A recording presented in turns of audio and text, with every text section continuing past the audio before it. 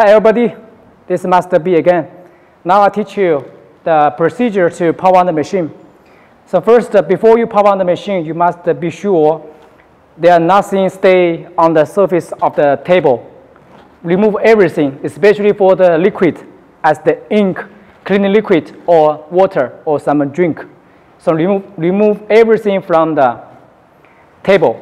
And then after you release the, the lock, then you push by your hand, push the carriage from left to right to check if the carriage can move freely. To be sure, there are nothing to block. And if you want to remove, you must remove to put your finger on this position and this position. Because at the bottom middle, there are some uh, control paths like this. Be sure it's move freely. Then you can move the carriage at the middle by your hand. Then you take out the keep weight system. And be sure there's nothing to block the carriage moving. So, so we just uh, give the power for the machine. Then we give the power, power on the UV control box. So the UV lamp control box is work is power on, and the machine have power. Also, the y-axis is empty, and then you go to check if the emergency button switch is pulled out, must pull out to release.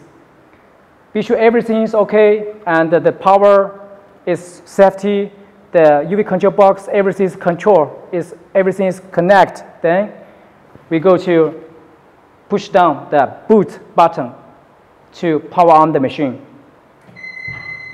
So after power on the machine,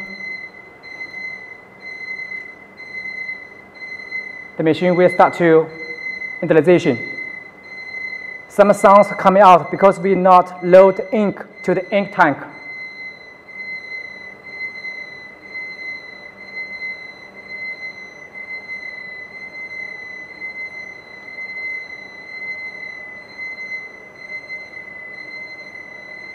So remember, must be teach you to close off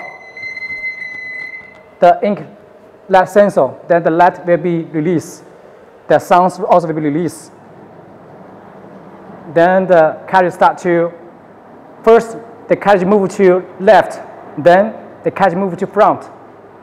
Then we stop when it got detected by the front in the sensor. Then the carriage move a little bit to home position. And also the bottom working light is on and also the, then, then we check the vacuum. First is vacuum or option. The vacuum motor is start working. And then we open the A area and B area, C and D. So now the table got the vacuum. Then it's position up and down when we press position up, the march position, the pin is moving up. When we press again, it's moved down automatically. See again. So it's working where?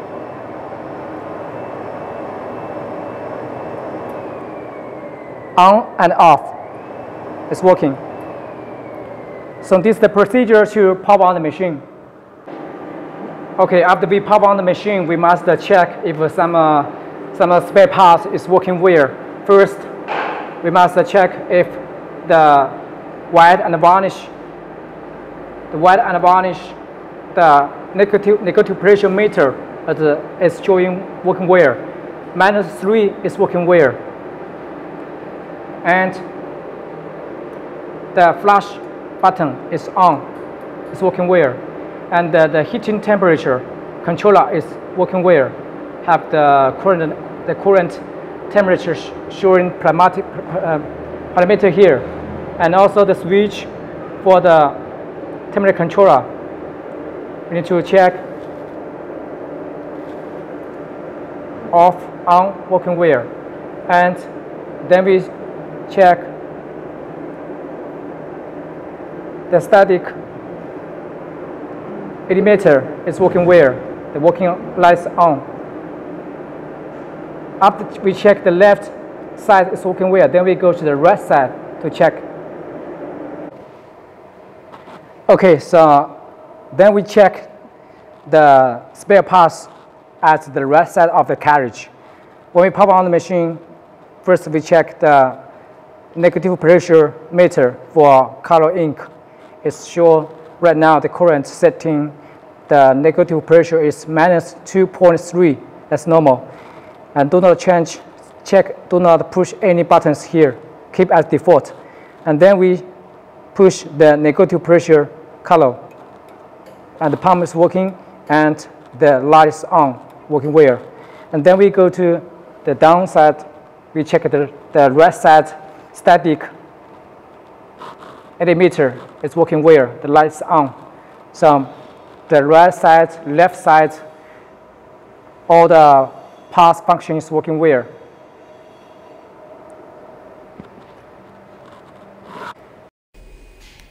Okay, after we pop on the machine, then we find out the Ethernet cable that come from the print, printer. Then we insert the Ethernet cable to the computer port. Be sure it's good connection. And also, one more thing is you must be sure your computer, the the net card, the hard hard configuration, the computer must giga giga internet, but not other speed. Giga internet cable. And also the giga internet connection uh, internet card from your computer configuration. Then we open the control software from the computer.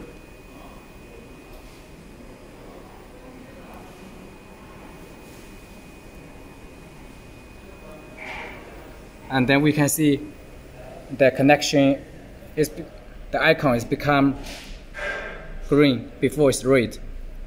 And if it becomes green, that means the computer is connect well with the printer. Then we can do the some setting and do other operation from the control software.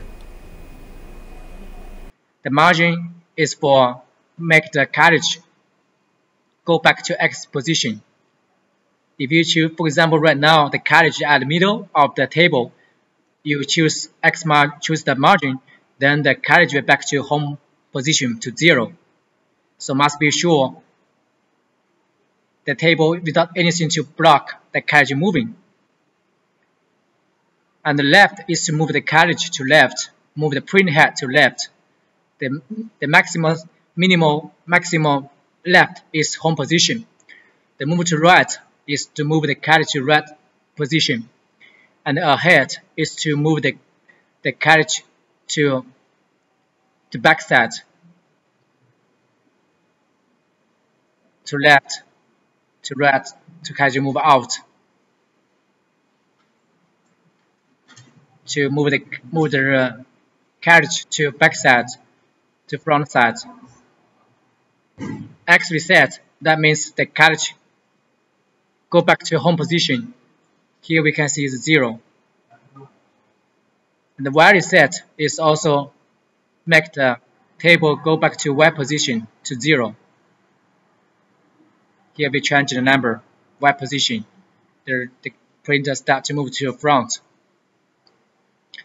So you press left, right, ahead, back, X reset or Y reset all must be sure, also the margin, all must be sure the table is clean without anything to block the carriage or the rail moving, especially for some liquids as the drink or ink.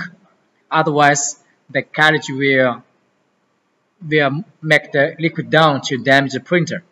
So must be sure X, Y, the motion is freely. So after we check all the spare parts is working well and also we install the control software ready, the driver, everything is ready and also the Ethernet cable is connected with the computer ready.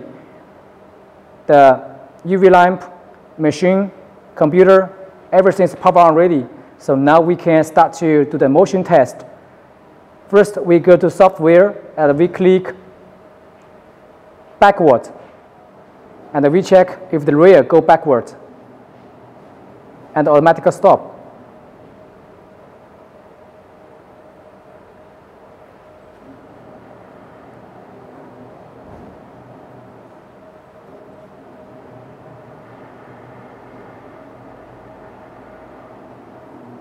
let the table, let the rail go to backwards, and let it automatically stop.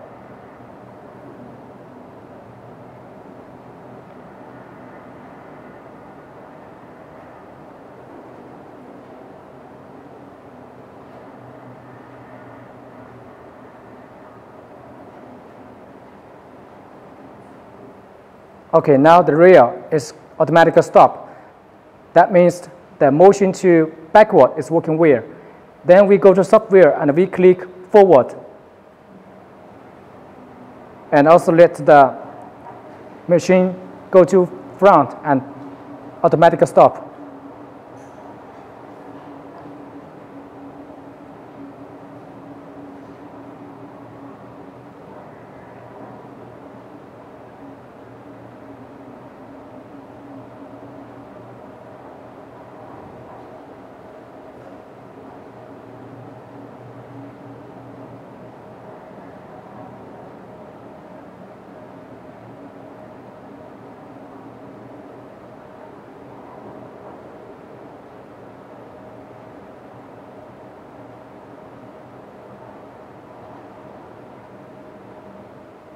Okay, now the rear is on automatic stop. So that means the machine forward motion is working well.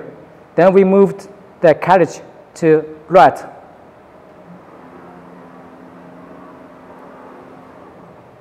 It's automatic stop. It's working well. Then we click to left. It's working well. Then stop. Then we move out again.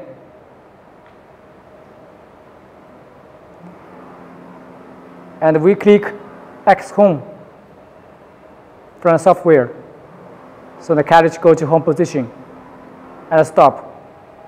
So the X axis is working well. Please remember before you do the movement of X, you need to take out the keep weight dish. Otherwise, it will damage the print board. Then we checked the up-down motion. Then we go to software and we click move, to, move up.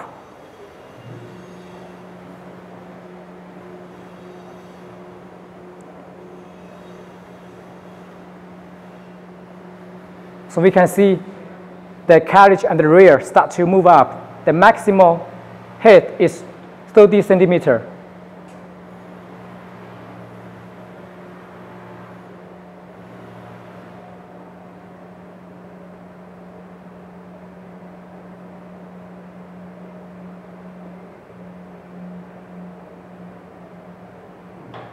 Semantic stop. Then we click down from the software.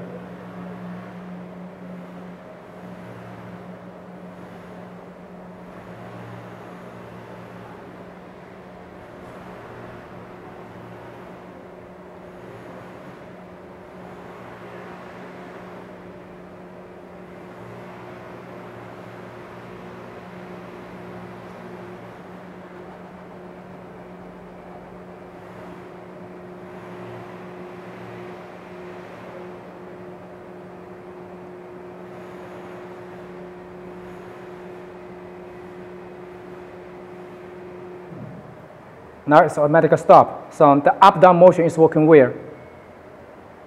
Okay, then we check the head, head detect sensor. First, we go to software. We place move up. For safety, we must move up to before we do the detect option. Then we go to move backward from the software. We go to the detect position. And then we move out carriage. And then we click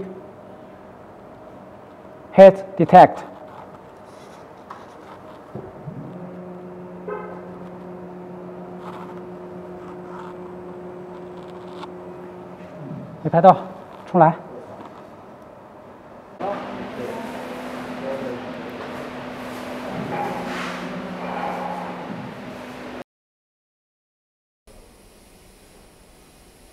Now I'll teach you how to do the detect option of the printed material.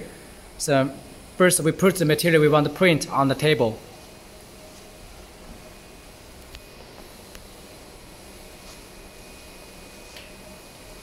And for safety, we, not, we don't know the thickness of the material right now. So we go to the software, we go to z-axis, and we click the axis move up then the table will start to move up. The, the, the carriage start move up. After we think it's safety, then we can close. So right now we have two options to do the detect, head, head detect option. First one is this one, and then it's test the head. So first we try this one. The in situation is only control the detect magnet move up or down. And the test head is automatic detect. So let's do one by one. So we first try this one. If we by this way, right now we cannot click. Remember, right now we must cannot just click right now. We must close first. Then we move the carriage out. We move by right. Then the carriage move up, move out. Then we move the position. To be sure the magnet position. The magnet position is on here. This the magnet. To be sure the magnet position is on the top of the material. Safety position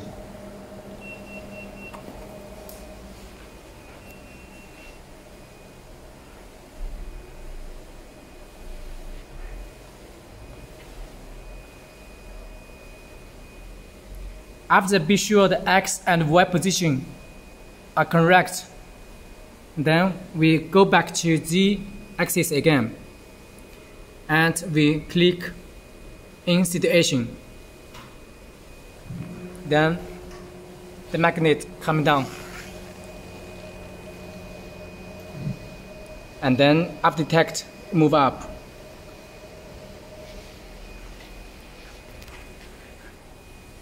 After that, we choose test head complete. So then we go to choose, click off, and we click X reset to make the carriage back to home position. We click, and then the carriage back to home position. So this is the first way to do the detect. Okay, then we try to another way. We go to the axis and the test the head. Before we do the test the head, we must be sure the material position, X position and Y position. Then we must go to see the rear, the, the rear, the, the ruler here. For example, I put on here. And right now, it's on 100, 200, 300, 400, and 6, 300, about 300. And also we can, from here, we can see here is 50, 60. For example, we put to 600 position. This position, 6, 600 millimeter on the X. And on the Y, we can see from here. And Y right now about 300.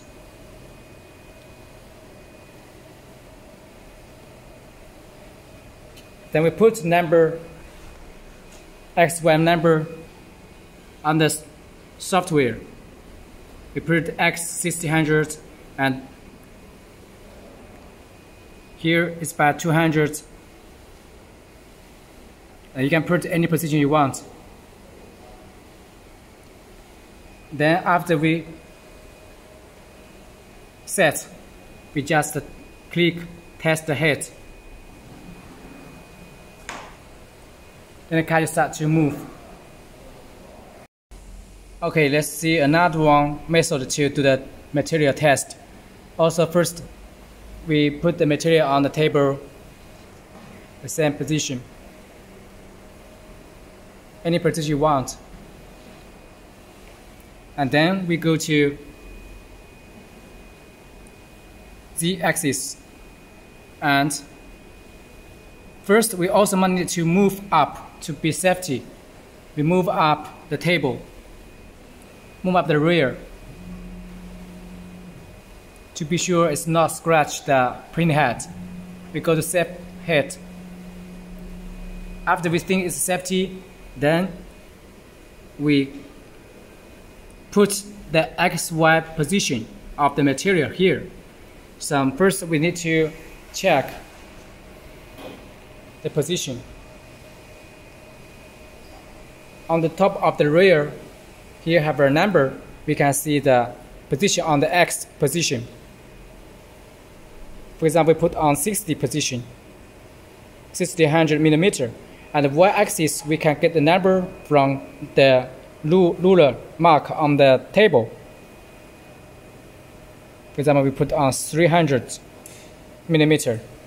So here is the test position after we be sure the material we put on the correct position, then we go to then we go to the software and we click head test. We put a number here first, 600 for the X and 200 for, for 300 for Y axis. Then we click the test head. Then the cartridge move out automatically and the magnet coming down. And after detect, they will move back to home position. So all are automatically. So these two methods to do the head detect. After that, we just uh, choose click test the head complete.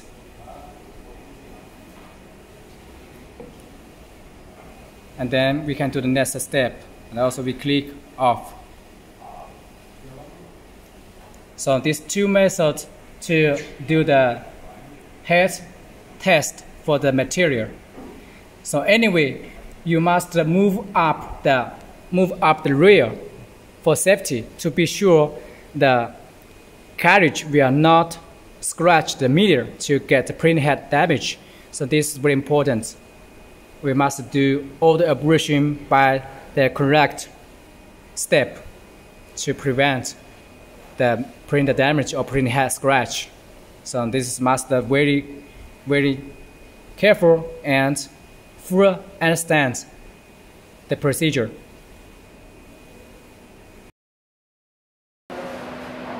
So after we check all the motion is working well, then we just do a test print. Before we do test print, please do not put ink or install the print head because we just do the motion test to check all the functions working well. before we install the print head and fill ink. Okay, when we go to the software, first one from the top is file. So file is for open the file we want to print. So first we, for example, we go to choose the file we want to print. Desktop. For example, we want print the test file. Then also we put two test file on the USB flash for the customer testing. First one is for test the color offset for wet and varnish. And also another one is for test file with picture. So, for example, we print, we load this for print. We double click. So the file go to the left. And we, when we right click, double click, we go to the file. We right click, we can go to print, task setting, detect, print ready, and cancel task, move, lots of options. For example, we can we can delete it. For example, we go to task setting. So we go to this interface. Here we can set the copy for X for Y axis and space for each file. And also here we can choose we can choose square print that certain position we want print, but not the full image, like this. And also we can set as we want the size, like this. And the ink setting here, we can choose the setting like color, white varnish, much ink. For example, we want to print that with two ink limit for white, white ink copies, but double white ink density or double varnish so normally we choose one by each color white and varnish layer. And here to adjust, little adjust the ink. For example, we just want to test the color, we just want to test the motion, we can remove to all. But if normally if you want print, normal print job, you just open for 100%. And white, we can adjust the whiteness for one copies. For example, we want only half white ink density, we just reduce to 50% or 60% and also varnish. So for white and varnish, you can adjust the ink limit to get different results. But for KCMY, we strongly recommend you to do not change the setting here because if you change the ink limit for KCMY, the printout picture, the color will be not original. So this is the ink setting. And this ink static, we can check this picture, this size, how many ink that consumed for each square meter.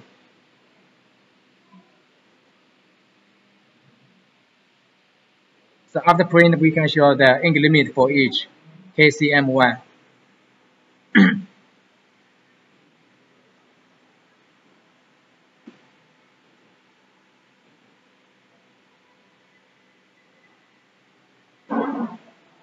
we can set print count, the price, then we can, here we can come out the total, total price cost for each copies.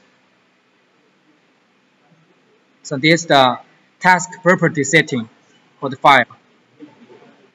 And here also we can click print and delete or clear all the list or open the folder we want to print.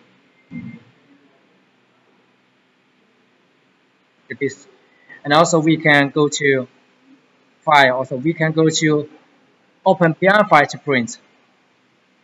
But if you go to PN file it will not the not show the icon. After we click print then the printer must start printing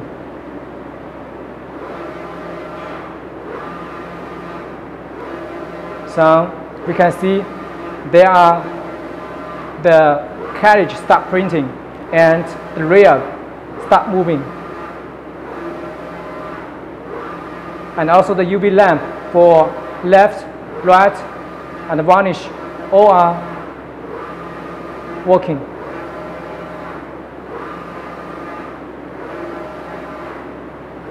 After test print, then we click cancel from the software. After we cancel the job, then the carriage back to your home position. So the print motion is working well. After you be sure the print motion is working well and the printing option is working well, then we can start to do the next uh, operation. Thank you. Okay, now let me show you how the, the Focus Atlas encryption system working and, and scratch print head system. So when we go to carriage, we can see here at the left and right have an anti-collision system of the carriage to protect the print head or carriage, carriage got damaged by the material on the table or any material bending. Inside have an electronic system sensor inside at both sides. So for example, I made a mistake. I'm very, I must be stupid. I forget, I forgot to remove the, the hammer on the table. I just put it on here. And then I, I'm stupid right now. I print, start printing from the computer. I forget to do the head detect.